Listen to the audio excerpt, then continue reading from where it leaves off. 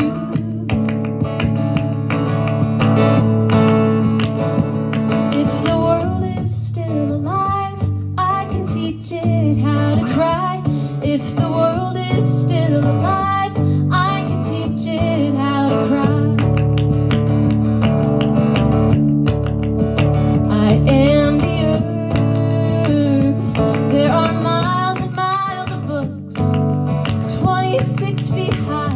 on my chest.